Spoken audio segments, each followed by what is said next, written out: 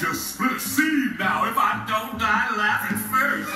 This story boogie said there's trouble close at hand. You better pay attention now, cause I'm the boogeyman. And if you wanna shake him, there's something very wrong. Cause this may be the last time you hear the boogie song.